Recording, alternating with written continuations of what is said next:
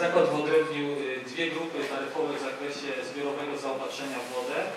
Y, Grupa W1 y, i grupa W2 i cena zarówno w grupie tej W1 jak i W2 wynosi 4 zł 4 grosze netto, to jest 4 zł 36 groszy brutto. Jeśli chodzi o zróżnicowanie y, tych grup, to jest to uzależnione od stawki opłaty abonamentowej.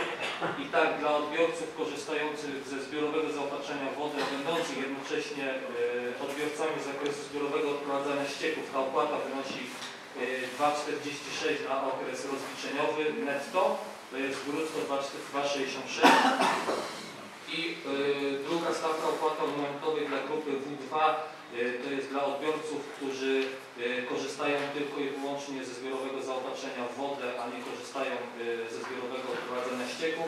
Ta stawka opłaty abonamentowej wynosi 4 zł 28 groszy netto, to jest 4 zł 62 grosze brutto. Jeśli chodzi o zbiorowe odprowadzanie ścieków, także wyodrębniliśmy dwie grupy taryfowe. Obydwu grupach cena za odprowadzanie ścieków wynosi 5,87 netto, to jest 4, y, to jest 6,34 y, brutto. Y, Są dwie stawki opłaty abonamentowej. Dla grupy pierwszej to są odbiorcy, którzy korzystają ze zbiorowego odprowadzania ścieków i są jednocześnie zbiorowym, w zakresie zbiorowego, zbiorowej dostawy wody i tutaj stawka opłaty abonamentowej 4 zł i 52 grosze netto, to jest 4 zł 88 brutto. Y, I w grupie S2 są y, odbiorcy, którzy korzystają tylko i wyłącznie ze zbiorowego odprowadzania ścieków i tutaj stawka opłaty abonamentowej wynosi 6 zł i 34 grosze netto, to jest 6 zł i 85 groszy brutto. Yy, Wyodrębniliśmy także stawki opłaty za przyłączenie do urządzeń wodociągowo-kanalizacyjnych yy, i to jest yy, opłata za przyłączenie do urządzeń yy, będących w posiadaniu przedsiębiorstwa wynikająca z kosztów przeprowadzonych prób technicznych przyłącza wodociągowego lub kanalizacyjnego i tutaj ta stawka opłaty wynosi 85 zł brutto.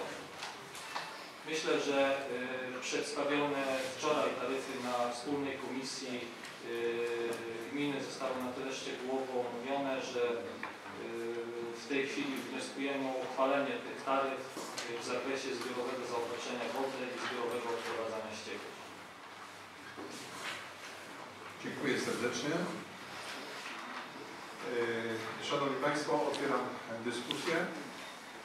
Proszę bardzo. Przez noc wiele się wydarzyło, jak słyszeliśmy i przez niemal cały dzień.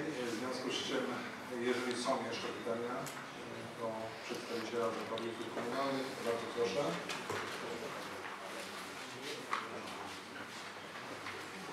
Nie widzę, w związku z czym e, przystępujemy do głosowania. E, kto z Państwa radnych jest za tym, aby e, projekt uchwały przedstawiony e, wczoraj na Komisji Wspólnej i dzisiaj e, jeszcze raz powtórzony, e, realizacji? Proszę bardzo. Przez podniesienie ręki głosujemy. Dziękuję. Kto jest przeciwny? Nie widzę. Kto się wstrzymał? Trzy osoby się wstrzymały. 17 głosów za, trzy osoby wstrzymujące.